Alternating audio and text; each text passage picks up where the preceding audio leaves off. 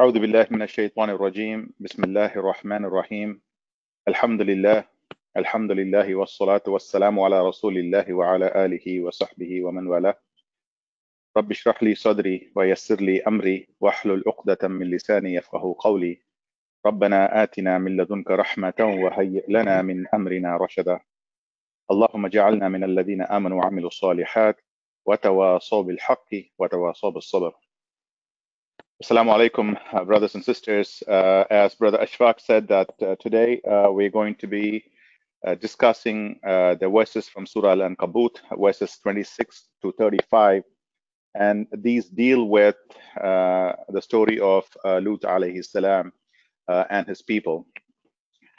So you might have learned in your previous sessions that the Surah Al Ankabut it was revealed Uh, in Mecca during uh, extreme persecution of uh, of the Muslims, and uh, it happened according to uh, some of the commentators that it happened prior to the migration to Habasha, and at this point, the the Quraysh of Mecca they were giving many different troubles, many different. I mean, they were persecuting them. They were giving many different troubles to the people, including their own children. Uh, as a matter of fact, uh, some of the Quraysh, some of the parents of Quraysh, they even knew uh, the verses of the Quran. They were even using those verses to blackmail, blackmail their own children.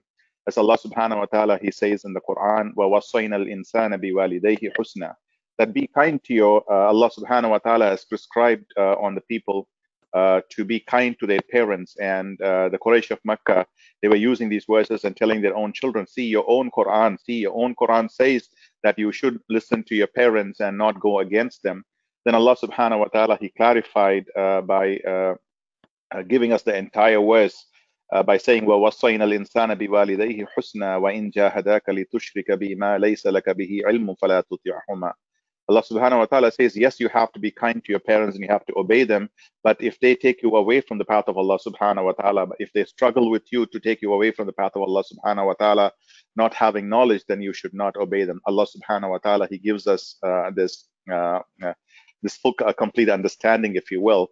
And uh, again, this brings up an interesting point uh, that we see today what was mentioned is not exactly uh, Quranic uh, revisionism, but this is a, a, a phenomenon uh, that we we are seeing today, and it has relevance to the verses that we are going to go through. people take verses and they try to reinterpret and try to make it mean something that Allah Subhanahu wa Taala did not intend. This is not what Allah subhanahu wa ta'ala taught us through the Prophet sallallahu alaihi wasallam. This is not the understanding of uh, the predecessors. This is not the understanding of the companions. But they try to take these uh, Quranic verses and try to make it mean something that it doesn't uh, intend to. And this Quranic revisionism that we see happening uh, in our own times a whole lot. Uh, I mean, we're not opposed to uh, all Quranic revisionism. There are, of course, there are some verses that we can reinterpret and understand uh, for example, if Allah subhanahu wa ta'ala talks about a miracle uh, in the Quran, then we can try and understand the miracle according to the, the knowledge of science that we have today. It's okay to interpret in, in a different way. But if we go against the fundamentals of the Quran, then it is not uh, appropriate. And that is something that we see happening. So I just wanted to kind of uh, make that point. Then, of course, Allah subhanahu wa ta'ala, uh, he moves on to other examples, uh, other types of persecution uh, uh, that, were, that were done by the Quraysh. They even came to the people and said, okay, now don't worry about taking on the sins. we will take the sins for you and um, uh, as Allah and Allah subhanahu wa ta'ala he refuted them uh, Allah subhanahu wa ta'ala uh, uh opened their uh, showed us their plots uh, in the Quran and they said وقال الذين كفروا للذين آمنوا اتبعوا سبيلنا ولنحمل خطاياكم that the Quraysh the kuffar they came to the believers and they said that we will take care of your uh, uh, your punishments, whatever that you have to face in the hereafter with Allah subhanahu wa ta'ala, we will go in front of Allah subhanahu wa ta'ala and we will tell them that, Ya Allah, that these people are innocent and they were just only following us. So again, all those things are not going to uh, work with Allah subhanahu wa ta'ala when we do meet him on the day of judgment. Then of course Allah subhanahu wa ta'ala moves on to uh, the story of Nuh alayhi salam, the story of uh, Ibrahim alayhi salam. Then finally he goes into uh, the story of Lut alayhi salam, which is what we're going to be uh, talking about today. And if you see uh, this entire uh, uh, surah, Allah subhanahu wa ta'ala, he starts the surah by saying, am I going to leave you? Do you think that I'm going to leave you just because you say that you believe? Do you think that you're not going to have any trouble, that you're not going to have any trials, you're not going to have any tribulations in your life just because you say you believe? People who came before you, they all went through some trials and tribulations. And Allah subhanahu wa ta'ala gave example of uh, these trials and tribulations of uh, telling us the story of Nuh alayhi salam, telling us the story of uh, uh, Ibrahim alayhi salam, then telling us the story of Lut alayhi salam, and then uh, Shu'aib alayhi salam. If you look at these uh, stories, you will also find that these are some of the major fitna that we go through in our life today, in our times. We are going through the fitna of shirk, people tr uh, trying to worship themselves. People are worship. People, when I say worship themselves, they worship the desires and whatnot. And then you also have uh, people trying to have immoral uh, relationship, uh, immoral relationship with uh, with the same sex and whatnot. And Allah Subhanahu wa Taala He talks about that in Surah Lut, uh, in uh, Surah Lut. Then Allah Subhanahu wa Taala talks about another corruption in finance and how you take care of your businesses with Shu'aib alayhi salam. So these are some of the bigger problems that we face in life today in our times, And Allah subhanahu wa ta'ala, He gives us a story as if Allah subhanahu wa ta'ala is telling us, yes, you have to go through all these pain, you have to go through all these trials and tribulations to prove your iman. So Allah subhanahu wa ta'ala did not just give us these stories for no reason. Allah subhanahu wa ta'ala gave us for us to understand the people before us, they went through uh, the trials and tribulations, and uh, and so are we. We have to go through uh, uh those trials and tribulations to prove our iman just because we say La ilaha illallah Muhammad Rasulullah that we uh, that we're not going to be saved from the uh, trials and tribulations and from the fitna. We all have to go through it. So I just wanted to uh, mention that uh, in form of introduction, uh, if you will. Uh, so we start. We are going to do from ayah number I think 26 to 35 is our um, our portion for today. like I mentioned, it talks about Lut alayhi salam, and Lut alayhi salam he uh, he uh, his father is Harran and whose father is Azar. And Harran and Ibrahim alayhi salam they were they are brothers. Harran and Ibrahim alayhi salam they were brothers and Azar is the father of both Ibrahim alayhi salam and uh, and Harran. So as you know so basically Lut alayhi salam is the nephew of uh, Ibrahim alayhi salam and they both lived in uh, Mesopotamia uh, in the Iraq Palestine area if you will and Allah subhanahu wa ta'ala uh, tells us that after uh, he protected uh, uh Ibrahim alayhi salam from the fire of uh, Nimrud, no one believed in uh, Ibrahim alayhi salam. No one came up with the courage to believe in Allah, believe in Allah subhanahu wa ta'ala and believe in Ibrahim alayhi salam. At that time, a young boy, Lut alayhi salam was a young boy. He was the one who believed. And Allah subhanahu wa ta'ala, he started, he starts the discourse of this section of the surah by saying, فَآمَنَ لَهُ Lut. And Lut alayhi salam believed in him. وقال إني مهاجر إلى ربي إنه هو العزيز الحكيم. Then Ibrahim alayhi salam, he says, indeed I will emigrate in the service of, uh, of my Lord. Indeed, he is the exalted in might and voice. Some uh, scholars say, some uh, uh, uh, Mufassirin, they say that waqala inni muhajirun ila rabbi, that is something that was said by uh, Lut alayhi salam. But majority of the scholars, they say it is uh, said by uh, Ibrahim alayhi salam because it connects to the next verse. it makes sense, if you will and uh, and historians they also say that when uh, uh, Ibrahim alayhi salam, when he took on this uh, journey, when he took on this uh, migration, he was about 75 years old. He left uh, Haran with uh, Lut alayhi salam and Sarah alayhi salam, and they migrated to to the areas of Palestine. Um, uh, Palestine, and then of course they all moved to uh, Egypt and whatnot. So they were uh, sojourning through different parts of the different parts of the um, world at that time. Then later on, Allah subhanahu wa ta'ala, He blesses Ibrahim alayhi salam with Ishaq and Yaqub. Allah subhanahu wa ta'ala says, وَوَهَبْنَا لَهُ إِسْحَاقَ وَيَعْقُوبَ وَجَعَلْنَا فِي ذُرِّيَّتِهِمَا النُّبُوَّةَ وَالْكِتَابَ وآتيناه أجره في الدنيا وإنه في الآخرة لمن الصالحين Allah subhanahu wa ta'ala he blessed uh, Ibrahim alayhi salam with Ishaq and Yaqub and then uh, Allah subhanahu wa ta'ala he gave them a reward in this world. Then Allah subhanahu wa ta'ala finally says that in the hereafter they will be among the righteous. I'm going to go through this section of the presentation pretty quickly because I want to get to an important uh, section that is more relevant to our times the lesson that we have to learn from these ayats I'm just going to skip through uh, probably speed through uh, some of the verses uh, if you will. So here is the ancient map of Mesopotamia uh, you see the Tigris and the Euphrates River and the city of Ur, where the where Ibrahim alayhi salam uh, he was born.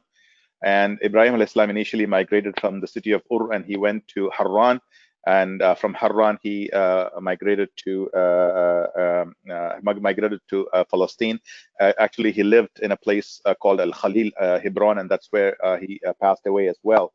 And near Hebron, to the southeast, you all you see um, a place called uh, a city is called Sodom and Gomorrah. Uh, you hear these names in uh, in the Bible, and of course, the Talmud uh, also talks about uh, two other cities.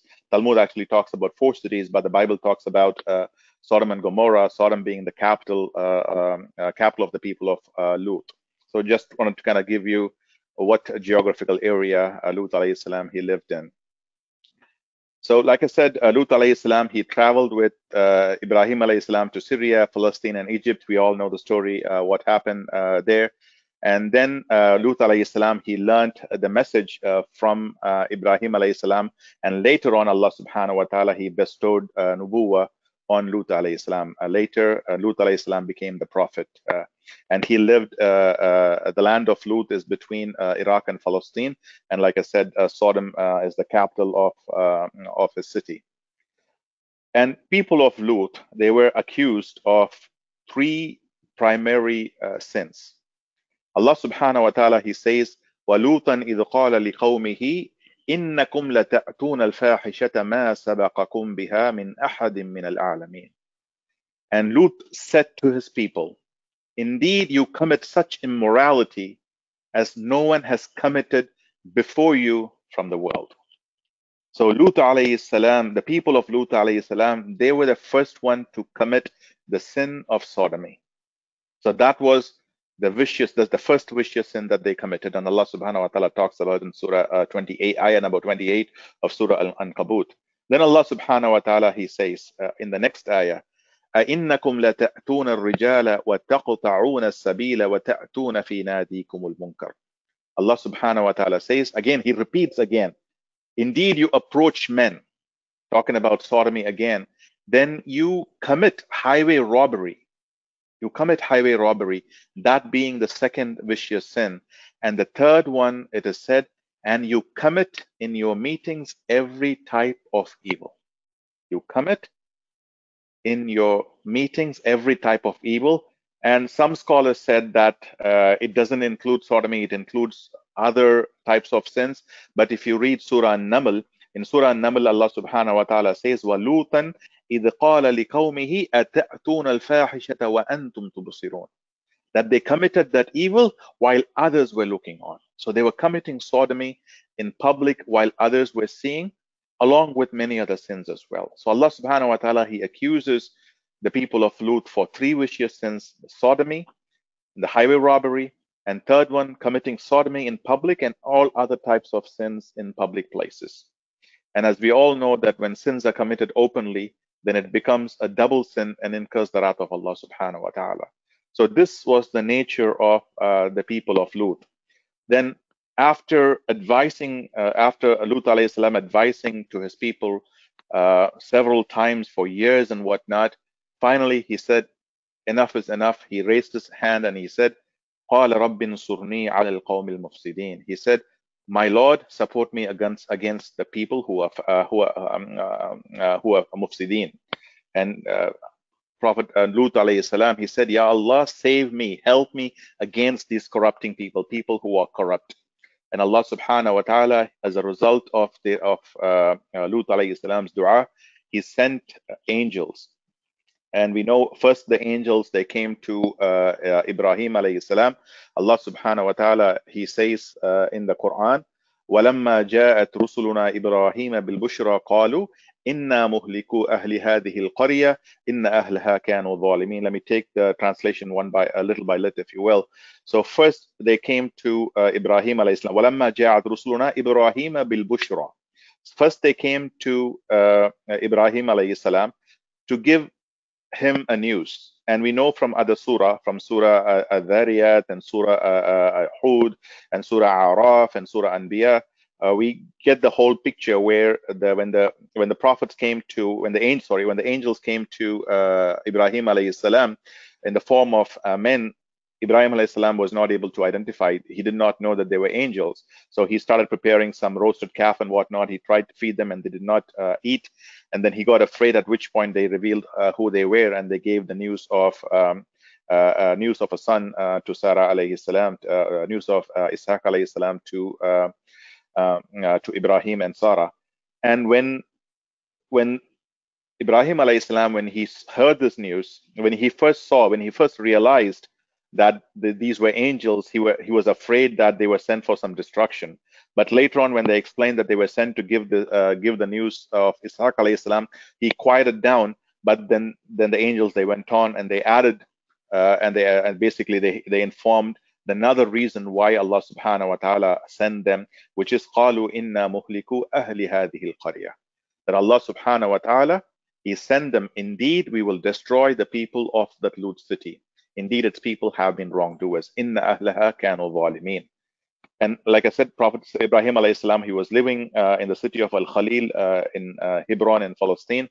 May Allah subhanahu wa ta'ala bring Palestine back to um, uh, to the hands of the Muslims. Allahumma ameen ya rabbal alameen.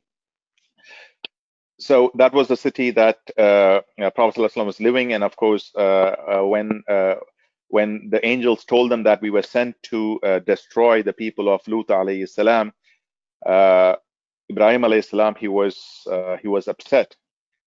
he he even told the angels that uh, that uh, give them some more time. Uh, give that people give the people of lut some more time. Yes they are committing the crime. So even at that point and again knowing ibrahim alayhi salam he was full of mercy he was like our prophet sallallahu alaihi wasallam he was full of uh, mercy and he pleaded on behalf of the people uh, to the angels don't do it don't do it now give them some more time but when he when he finally realized that the angels are going to do what they were commanded to do then he said don't forget that Lut is also there. قال قال إن فيها لوطا. That Lut is also there. Then the angels rep, uh, replied, قالوا نحن أعلم بمن فيها. That we know Lut is in there. We are more, we have more knowledge of who is within that city. And they said, لَنُنَجِّيَنَّهُ وَأَهْلَهُ إِلَّا امْرَأَتَهُ كَانَتْ مِنَ الْغَابِرِينَ That we will save, uh, we will save him and his family except for his wife. So then, uh, so after that, uh, let me move on to the next one. So when they, uh, when Ibrahim salam, when he was not able to convince the angels, uh, the angels told them that this is what they're going to do. Then they came to the, then the angels came to Lut alayhi salam uh, in the form of young man. When Lut alayhi salam saw these people, saw these young men, of course, he didn't realize initially that they were angels. So he was worried about them uh, Lut alayhi salam uh, was worried about uh, these people. And Allah subhanahu wa ta'ala, He says, وَلَمَّا جَاءَتْ رُسُلُنَا لُوطًا سِيَّ بِهِمْ وَضَاقَ بِهِمْ ذَرْعًا That when angels came to Lut alayhi salam, he was distressed for them, for the angels who were in the form of men, and felt for them great discomfort. Then the angels told them, uh, Fear not and do not worry, Indeed, we will save you and your family except your wife. They gave, they basically confirmed the same message that was uh, given to uh, uh, Ibrahim alayhi salam. Then, of course, Jibril alayhi salam, uh, we know what he did. He uprooted the town from the depths of the earth, lifted it up to the sky, and then threw it upside down uh, upon them. Then Allah subhanahu wa ta'ala, He rained upon them stones of hard clay.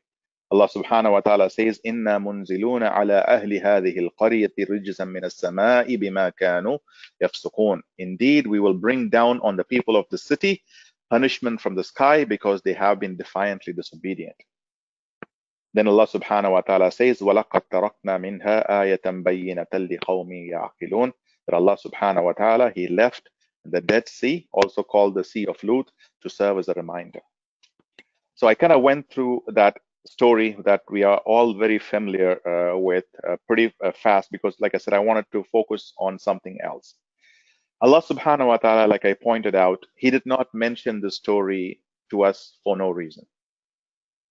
This is one of the strugglers. Allah subhanahu wa ta'ala started the ayah. Do you think that just because you say believe that, that just just because you believe that you will not be tested? And this is the test that Allah subhanahu wa ta'ala has put on people. And this is the test that we as Muslims face at the current times, especially in this part of the world.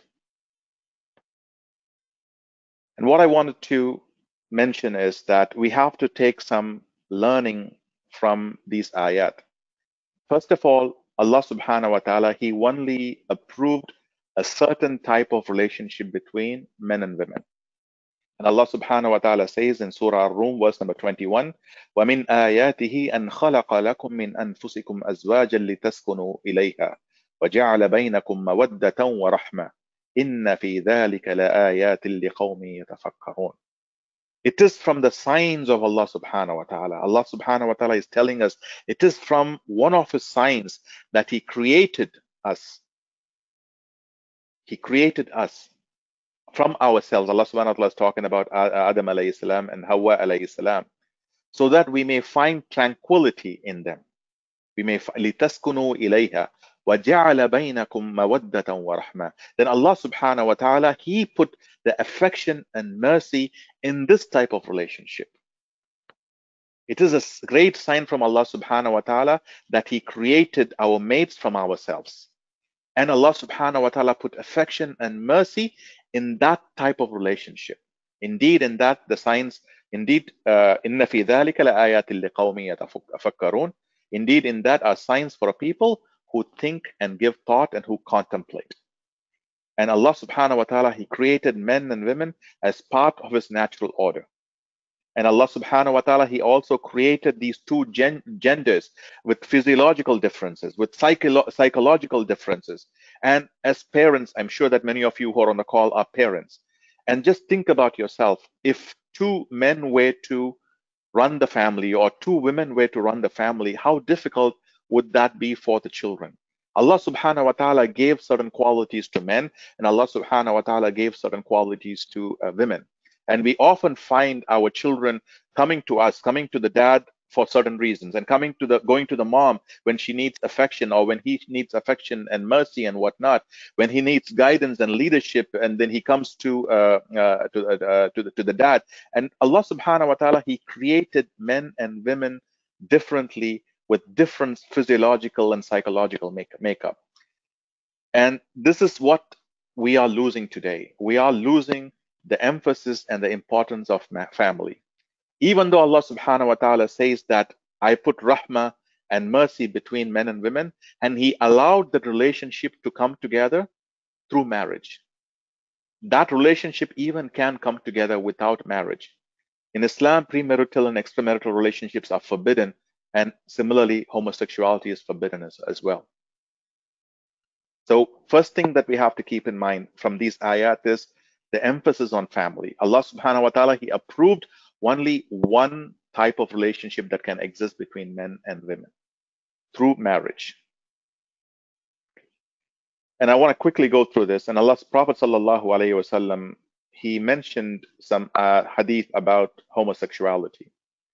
The Prophet sallallahu alaihi wasallam, he said, "And Jabir uh, radiallahu anhu قال قال رسول الله صلى الله عليه وسلم إن أخوف ما أخاف على أمتي عمل قوم لوط.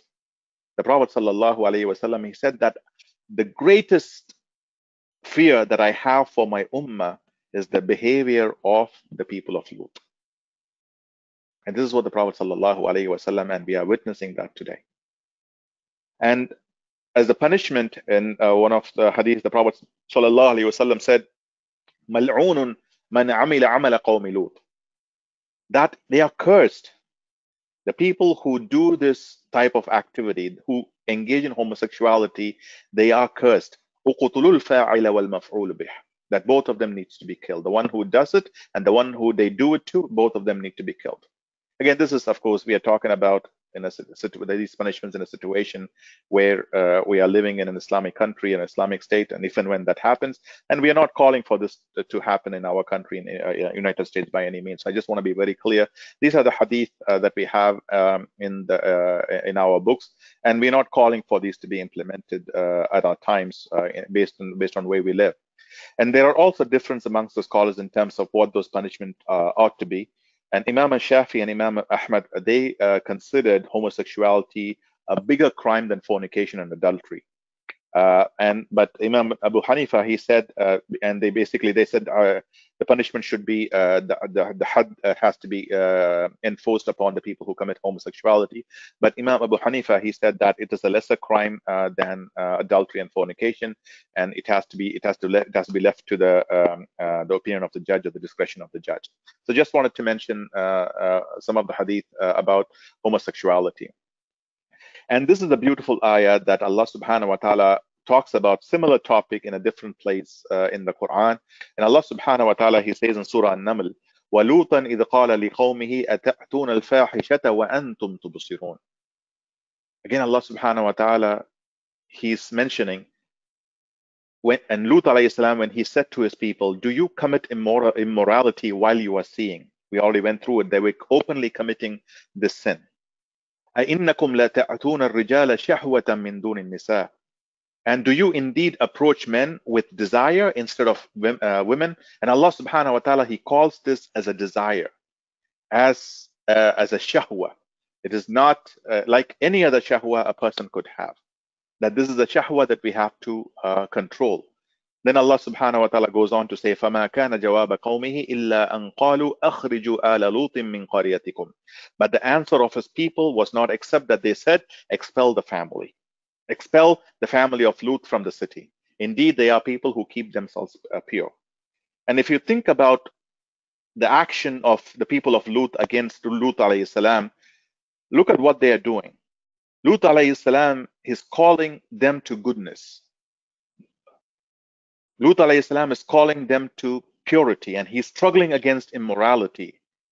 But the people who are committing the immorality, they are very quick to call out and say that these people are trying to change our life. They're trying to change our life. They are trying to implement Sharia in our uh, in our country, in our city. They are trying to uh, oppress. They are wearing hijab and oppressing their own men, and now they are trying to oppress our women as well. And they also say, get them out. Send them back. Go back to where you came from that is what Lut alayhi, the people of Lut is telling to Lut alayhi salam. We have to drive them out of our country. They know. Innahum unasun yatatahharun. They know those the people of Lut alayhi salam, they themselves said that these are the people who keep themselves pure. Even though that they know that the people of uh, that Lut alayhi salam and the believers are pure, but they want to protect their way of life by calling, by sending us, by driving us out of the city. Isn't that what we see today? Whenever we struggle for goodness, whenever we strive for morality, people who don't want goodness, people who don't want the moral sense, they say that we don't need your purity, we don't need your education. Go back, go back to where you come from. And to me, it, when I read these ayat, it sounded like, I mean, it, it had a clear parallel to what we go through, what we go through as American Muslims uh, at, at these times. And I'm going to take a few more minutes and then inshallah, we will conclude and open it up for uh, Q&A. And it is not just Quran that says that uh, that says homosexuality is forbidden. Uh, even the Abrahamic faith, they say uh, the homosexuality is forbidden. And I've given some uh, verses from both the Old Testament and the New Testament because, as you know, people usually say that, hey, uh, we don't follow them. In the, many of the Christians that you, uh, I mean, not, I would say a significant portion of the Christians, they say that we don't follow the Old Testament. So that's why I have references from both Old Testament and the New Testament about the prohibition of homosexuality. Not going to go through it. If time permits during Q&A, we can definitely uh, do that. And we also get these arguments, people who commit this immorality, the first thing that they point out is that it is in my nature. How can you blame me when this is what I like? This is what I'm made to be. And how can we take that as a, as a possible or a good response. People say that this is what I want to do. This is what I get my pleasure in. This is what I like to do. It's in my genes. Is that a valid response? Is that a valid justification? Because if that were to be a valid justification, we know pedophiles. They say that they get satisfaction only when they have relationship with children. That is where they find their happiness with. That's that's where that's I mean through children they get off. If they say that that's where I find my desire, that's where I get my pleasure, do we accept that? Do we accept that from from a pedophile? Do we accept them from a, a kleptomaniac who is prone to stealing? A pyromaniac, pyromaniac who wants who finds joy in just uh, putting fire on, uh, uh, creating arson and whatnot? We definitely can't can't take those exact uh, take those responses uh, as justification. And some people even say it is also in the nature. The animals do it. You, there are so many animals in the animal kingdom who commit homosexuality. Why can't we do it? We are animals too. But you also, if you look at the animal kingdom, there are animals after mating, either the female kills the male or the male kills the female. You find this a uh, phenomenon. Do we accept that? If you're going to take example from the animal kingdom, can we take that as an example? And there are, they also, there are also animals who are prone to necrophilia, who have sex with dead animals. If you're going to take example from, are we going to follow that? I mean, we people come up with these responses saying that okay, they are trying to justify what they want, what because this is their desire, and they are trying to find a way to justify themselves. And what has happened is even amongst the Muslims, they are going through what is called the phenomenon of phenomenon of Quranic revisionism. I mentioned that to you at the beginning of uh, the session today. They reinterpret the verses of the Quran to say that the Quran nowhere says that homosexuality is prohibited. They say uh, some some people who say that homosexuality, people who accept Muslims who accept homosexuality is prohibited, they also go to an extent of saying that the reason why Allah subhanahu wa ta'ala punished the people of Lut is because they were going against the angels and the angels did not consent to the relationship. So only rape, homosexual, rape is prohibited. Homosexuality, the action of homosexuality, if it is a rape, then it is prohibited. But if it's uh, consensual, then it is not uh, prohibited we don't know where they are getting these ideas from. The Quran is against it, the, the Hadith is against it, but people are trying to find some justification to prove to uh, to prove to themselves to and, and to others that this is an acceptable act. And again, this is an evolution of uh, LGBT. If time permits, we can go through and uh, how the whole LGBT stuff uh, happened in USA. Uh, I also want to point out this is a growing trend amongst the Muslims as well as Muslims, we need to accept that this is happening. That Allah subhanahu wa ta'ala did not just provide this uh, story for no reason in the Quran. We have to take lessons. We have to accept that this is indeed a problem. And if we don't educate our children and our fellow Muslims, they may go the wrong way. Like the recently, uh, uh, uh ISPU, uh, uh, the organization that Sister Dalia, Dalia Mogahed, that she runs, her data says 31% of Muslim Americans said they hold a favorable opinion of LGBT people. 23, 23 said unfavorable, and 45 said they had no, no opinion. And this is the situation when clear, when Quran is very clear and the Hadith are very clear about this action, but the trends of acceptance is, grow, uh, is going up. And what should be our attitude towards this section of people? Uh, since we are already past 35 minutes, I'm just going to hold this for Q&A time, inshallah, and we can talk about how do we deal with uh, people uh, who have these type of feelings, or you come across these type of feelings. Uh, uh, if you come up come across people who have engaged in this type of behavior, how do we work with them? What should be our attitude towards them? Inshallah, we can try and answer them during a Q&A. So I'm just, inshallah, I'm going to pause there and uh, we can open up it uh, for Q&A. Inshallah, the first question. Uh, the wife of Lut salam was specifically drawn out that she would not be saved. Can you explain to us why this was and what is the lesson from her being drawn out in the verses? And yes, and uh, uh, when uh, Lut alayhi salam, when he migrated to the city of uh, Sodom and Gomorrah, he uh, he uh, wanted to spread Islam or uh, Islam amongst the people at that time, and he thought the best way to do that by taking one of them as his wife. So even though he took his wife, even though he married into the same community, his wife never believed. And especially if you see, if you look at uh, the the wives of the Prophet sallallahu alaihi wasallam and the wife of Ibrahim alayhi salam, you see the wives they learn a lot from the prophets and they exhibit the, the, the behavior of the prophets and they teach others as we have seen in our uh, uh, as we see in our case with uh, the wives of our prophets.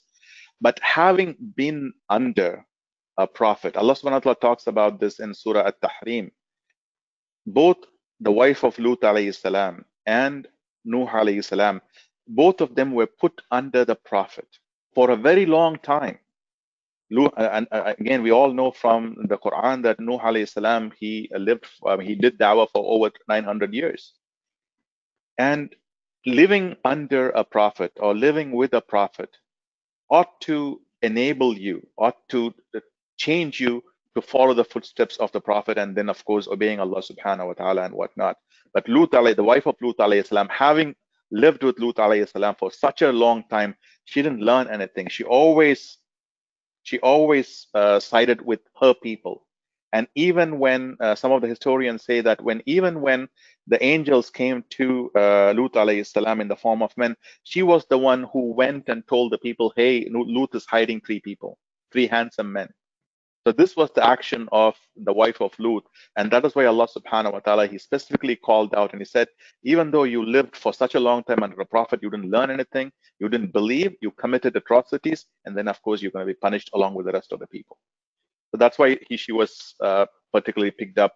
Uh, Allah subhanahu wa ta'ala says that he will save uh, Lut, uh, Lut alayhi salam and his family except for his wife because of her sins of what she committed. What's the next one? Yeah, Jazakallah. Yeah, Jazakallah. So, with respect to the sacred union of marriage in Islam, and in the context of the society that we live in today, with all of the fitna that's going on, we talked about homosexuality, divorce rates are on the high. What advice do you have for couples to protect the sacred union of marriage? So this is specifically about keeping our uh, relationship to uh, protect uh, the relationship of the wife and husband. Is that the question? Yeah, especially in the context of all of the fitna that's around us, so that we're not uh, influenced by it. It, I mean, it is just to have. I mean, the, the basic thing is to have an open communication. Talk to each other.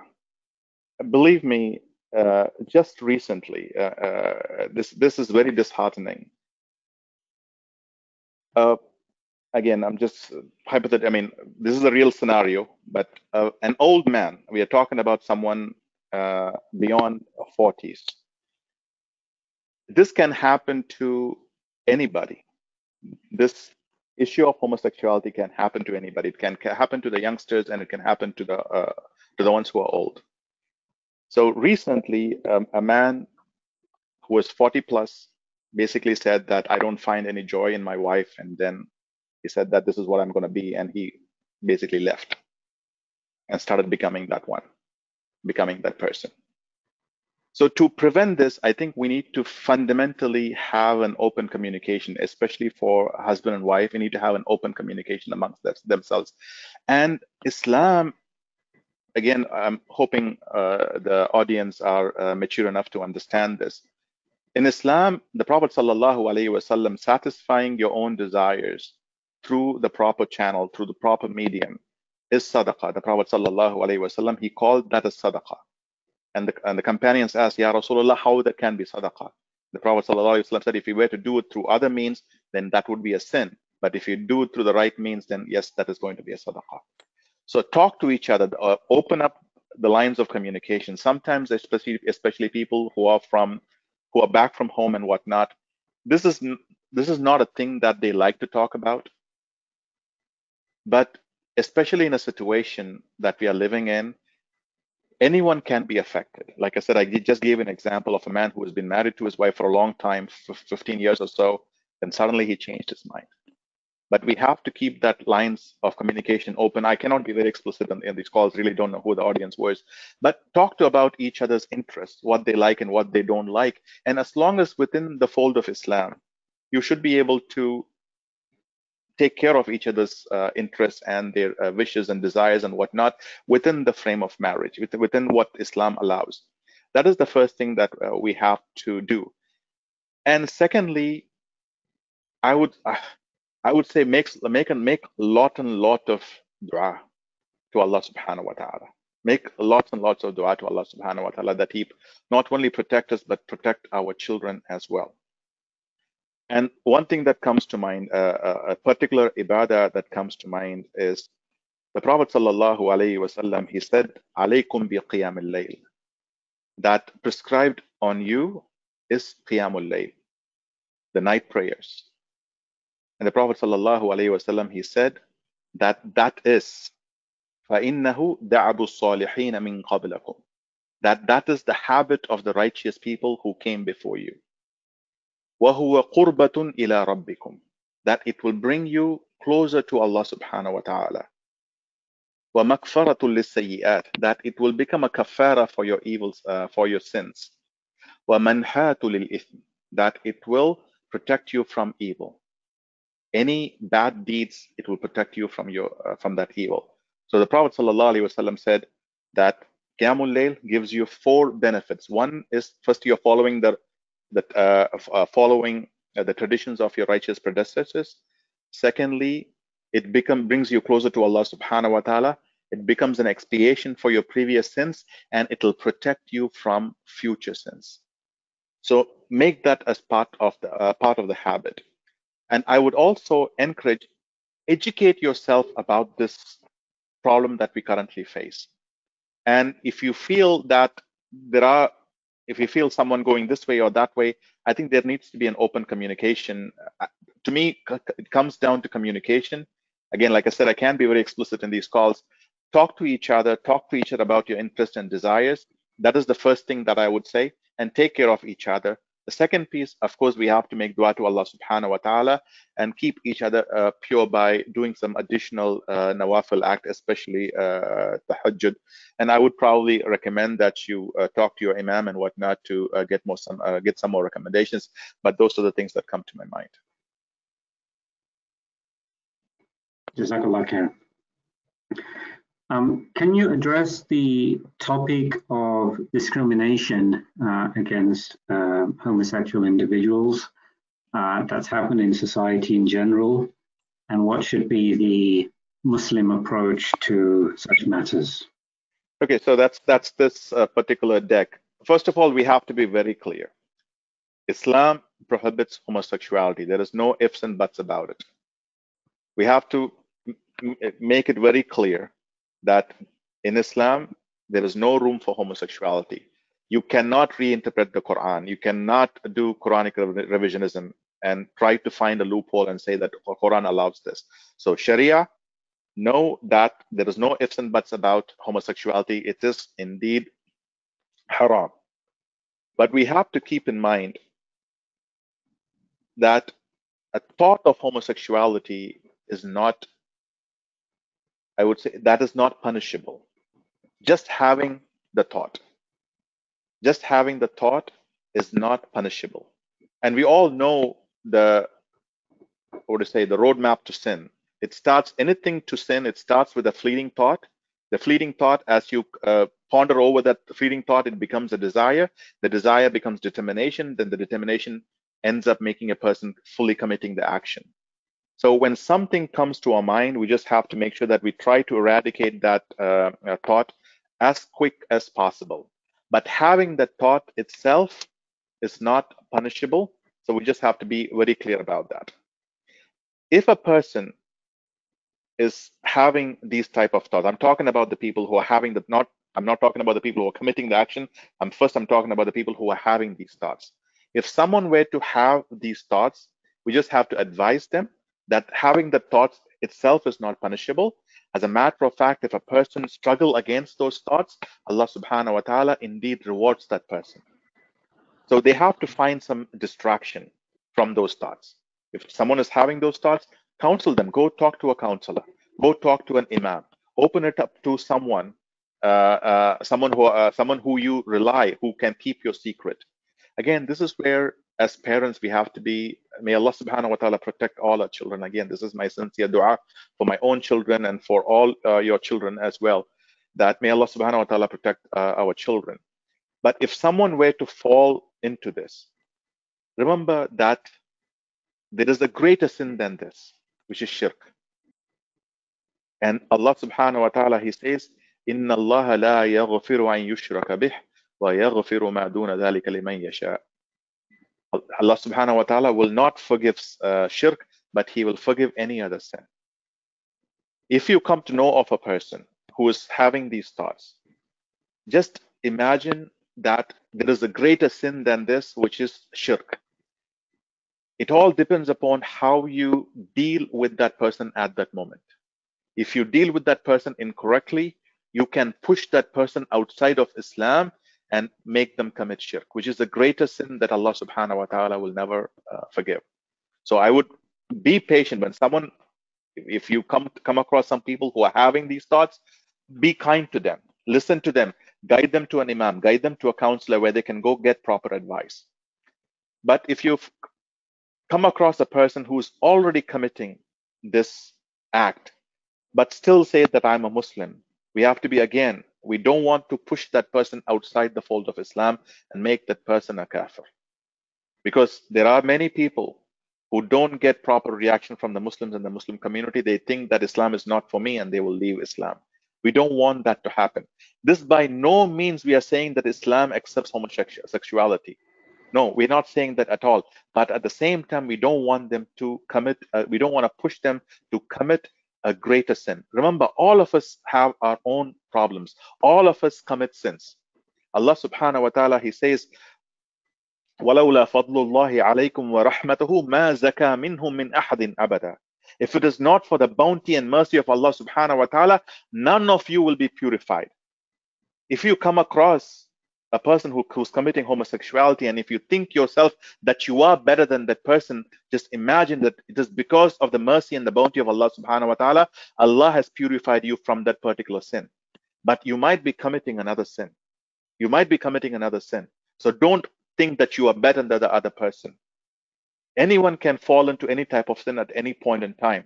So but what we don't want to do is push that person outside the fold of islam. So if you come across someone who is engaged in this sin, remind them gently, remind them gently about what Allah subhanahu wa ta'ala says about this and find them help, inshallah. We should treat them like how we would uh, treat like an alcoholic or a drug addict. When we go and stand in prayer, who, how do we know the person who's standing next to us is not an alcoholic or a drug addict?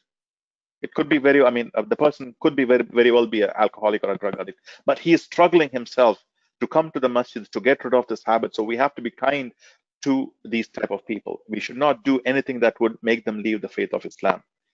And also, we are living in a country that has legalized this type of action. So we cannot go and do anything that that is against the law of the land, and cannot take uh, cannot take matters in our own hands. We have to be absolutely clear. Even though as Muslims we abhor, we hate homosexuality, we have to ensure that we do not take do anything of our own. We have to abide by the law of the land. And we have to direct this person to a proper imam or to a counselor to get some help, but never push them outside the fold of Islam. The only thing that I would warn is this is again purely my opinion. If that person who's committing homosexuality, if he or she is coming to the masjid and promoting this type of lifestyle, only at that point you tell him or her that this is not the place for you because we don't want our children or our community members get affected by this. Only at that time you stop them from coming to the masjid when they are trying to promote this type of lifestyle. Otherwise, you treat them like like any other person who are going through some problems and hide their secrets. We don't want to make them public and guide them to uh, uh, to a counselor or an imam where they can further help, inshallah. Many of the people, when they go through issues like that, later on they can come back to Islam. Who knows? Allah subhanahu wa ta'ala, having been mm-hmm. lived most of their life as Islam, they could come back to uh, Islam. I know I say they can come back to, they can rectify their mistake and come back to the obedience of Allah subhanahu wa ta'ala. And that's what we wish for these people. So we, we should not be very rash uh, with these uh, uh with these type of people. Uh, so that's that's what I would say.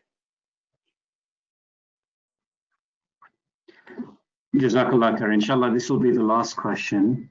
So you talked about homosexuality, you talked about other types of sins such as um, alcoholism, uh, drug addiction, fornication, adultery. There, there are many uh, sins out there.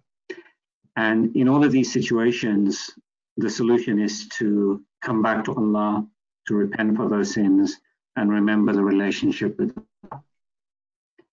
what is um, maybe one or two pieces of quick advice to end? When we fall into any type of sin, whether it's one of the categories we mentioned or anything else for that matter, uh, what is some practical advice that you have for us uh, how we can get back on the right track? And as the as the Prophet sallallahu wasallam said, "Kullu bani Adam uh, So every uh, son of Adam is a sinner and the best of sinners are those who come back to uh, come back to Allah subhanahu wa ta'ala who repent to Allah subhanahu wa ta'ala. And uh, khairul hatta'ina tawabun the, uh, the best of sinners are those who repent to Allah subhanahu wa ta'ala and come back uh, to Allah subhanahu wa ta'ala. So the first thing is to realize that you've made a mistake. Uh, and think about what you've done. And go back to Allah subhanahu wa ta'ala. Allah subhanahu wa ta'ala he will forgive all sins. Allah subhanahu wa ta'ala says, قُلْ يَا عِبَادِيَ الَّذِينَ أَسْرَفُوا عَلَىٰ أَنفُسِهِمْ لَا تَقْنَطُوا مِنْ رَحْمَةِ اللَّهِ Allah subhanahu wa ta'ala, He calls these the people who have transgressed beyond bounds. Ya ibadi, my slaves. Allah subhanahu wa ta'ala is attaching Himself to those people who have transgressed. يا قل يا عبادي الذين أسرفوا على أنفسهم لا تقنطوا من رحمة الله. Do not lose hope in the mercy of Allah subhanahu wa ta'ala. إن الله يغفر الذنوب جميعا.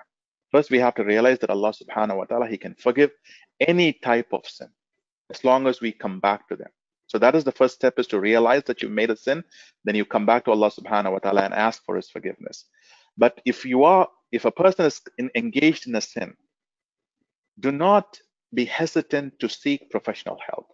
And this is a taboo in our, uh, probably a taboo in our Muslim community that uh, or, or, a stigma, if you will, that uh, people will look at uh, differently when we go and ask for professional help and whatnot. No, when people are having marriage, uh, marital issues and whatnot, they go and seek a counselor. But when, again, it is okay when someone is thinking about alcoholism or drug addiction or thoughts of homosexuality, it is okay to seek professional help. Either it be a professional counselor or you go to the imam or go to a person that you feel uh, comfortable to share your secrets with it is okay to get counseling. And thirdly is try to stay away from the place. Don't put yourself in situations of fitna. If a person is engaged in sins like this, do not put yourself in those situations. People who are alcoholic, they should not be spending time with those people who go to bar and, and do whatnot. So similarly, if regardless of whatever sin that they may be, they might be committing, don't be with those people who encourage you or even give you the thought of committing that sin. Get away from that. Uh, uh, get a, get away from that situation. And I, am being open here. Again, if a person who's uh, was addicted to pornography. I mean, that is, I mean, sometimes we hear these things and we think, okay, this cannot happen in a Muslim community, but these are real problems of our youth and in our Muslim community. So that person should not be sitting idle by himself in front of a computer. Do not put yourself in fitna. Repent, seek professional counseling. Don't put yourself in fitna. Then ask a lot of dua. Ask Allah subhanahu wa ta'ala a lot of dua to take you away from that situation and engage, like I said, engage in nawafil activities. Inshallah, Allah subhanahu wa ta'ala will bring you back and bring you back uh, from sins, and Allah subhanahu wa ta'ala will protect us from those sins. So, those are the things that, that are coming to my mind right, right now. Allahu Akbar.